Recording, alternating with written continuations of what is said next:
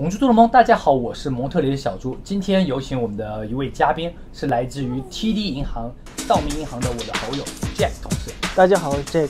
他是 TD 银行，也就是道明银行的贷款经理。那首先，Jack 介绍一下 TD 银行。OK，呃，加拿大 TD 银行中文名叫道明银行，它是加拿大第二大银行，然后是一八五五年成立，它现在现有员工大概有一万多人。作为北美前十的银行，多伦多道明银行总部设在多伦多，全球共有约九万名员工。道明银行成立于一九五五年，由一八五五年注册的多伦多银行和一八六九年注册的多米尼克银行合并而成。据我所知，其实道明银行的华人数量不是特别多，特别是贷款这一块。对，道明银行在蒙特利尔地区的华人其实很少，差不多贷款经济，就我这个职位，差不多有五个人左右。在大蒙地区 TD 工作的华人差不多应该不超过三十个，但是 TD 银行在呃温哥华 BC 省那边会比较多，尤其是对，尤其是粤语，他们会提供很多粤语服务。呃，我们的网站其实有有英语、法语和第三个语言，其实就中文。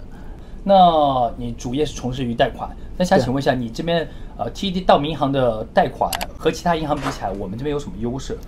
对，OK，那我就直接说对华人的优势吧对。华人优势，对，没对错。，尤其是我们这边最大的优势其实是呃海外收入的贷款，就比如说你在呃中国有一个海外收入，中国收入，对中国有很好的收入，我们这边可以提供百分之六十五的贷款，就是说你可以付百分之三十五的首付，我们可以提供百分之六十五的贷款。OK，那听说你们还有远程开户这个项目，就是人即使是在国内也可以委托开户。对，这也是我们很大的亮点。就是如果您想贷款，然后从来没有来过加拿大，但是在加拿大有朋友或者有亲戚，您完全可以通过一个委托授权的形式，要指认魁北克当地的公证师去做一个委托授权书，然后被委托人拿着这个授权书的文件，就可以在任何一家分行去开户。好的，好的。那说到贷款呢，那我们肯定喜欢玩机身蛋的游戏哈，就是一套变两套，两套变三套，三套就可以四套，四套就可以上市了啊。开玩笑这么说，但就是说。对于收入这一块，大家还是要努力去上班的，对不对我们需要那肯定是一定是您觉得就是玩，如果玩投资房这样一套套套娃的形式的话，有个大概的收入的话，家庭收入您是怎么看待的呢？就是呃税前哈，当然我们讲，税前在魁北克收入肯定比其他地方稍微低一点，因为其他地方的房价毕竟很高嘛。对魁北克的房价跟多伦多、温哥华相比，肯定要低很多。